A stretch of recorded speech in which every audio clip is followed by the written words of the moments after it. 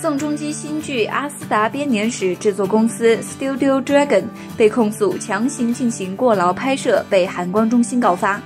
据悉，该公司没有遵守去年九月发布的六十八小时制作准则。经调查发现，其中存在未签订劳动合约、工作人员协议会议不正常运营、违反工业安全法等问题，而且还有因为强行进行夜间拍摄导致工作人员手臂骨折的事故。非凡娱乐实时报道。